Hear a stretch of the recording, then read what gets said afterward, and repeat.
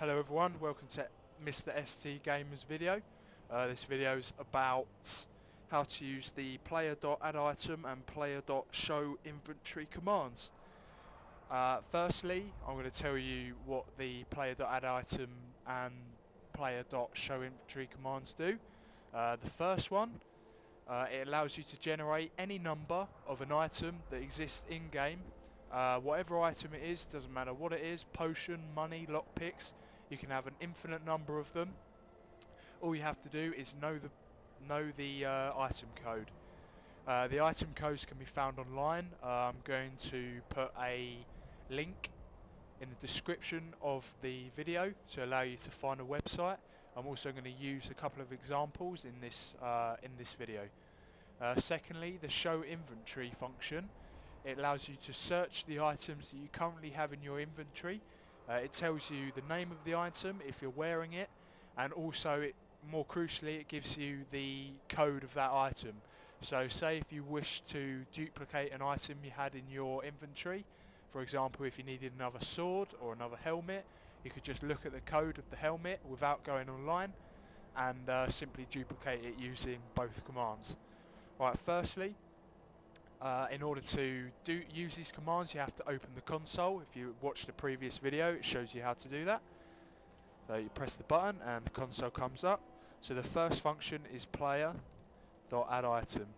Uh, this function isn't case sensitive but it has to be spelt correctly and it has no spaces within the function. Then you have to add the item code. So first of all I'm going to use the item code for gold which is seven zeros followed by an F. However, to shorten it, you can remove any zeros that are before first legitimate character, a legitimate character being 1 to 9 or A to F. So obviously in this case it's just F. Then if I uh, wanted 10,000 gold, if you look at the top, le top left corner of the screen you'll see that 10,000 gold has been added to my inventory. So I have a look at my inventory and I've got 2.1 million gold. Okay, so that's fine. Lovely. Uh, another item that you may need is potions, so I'll use the code for a potion. Uh, the code for a vigorous health potion is 00039BE5. So obviously you can get rid of the three zeros at the beginning, leaving you with 39BE5. So I wanted 10 of those. Top left corner says I've got 10 of those. Uh, let's go to potions. Yeah, I've got 67 of them. Uh, obviously that means I just had 57 beforehand, if that confused anyone.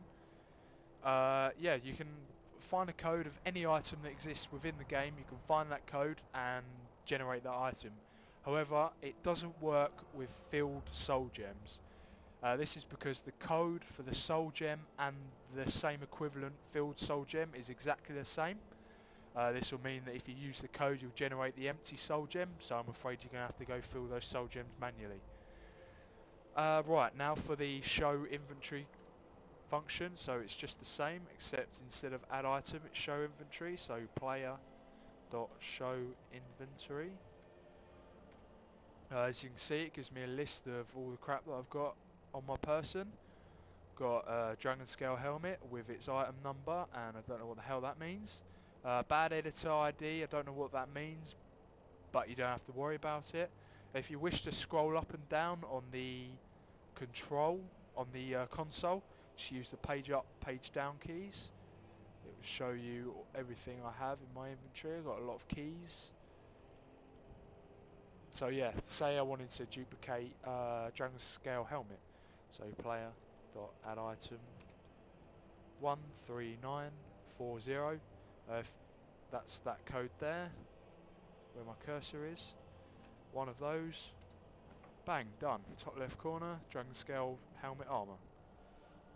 So that's how you generate any item and look at the codes in your inventory. Uh, in future videos I'm going to show you how to complete quests without actually doing them. Um, how to teleport to places, free skill ups, level 81 in the click of a button, and that's about it. Um, thanks for watching, please like, comment and subscribe and I'll catch you later.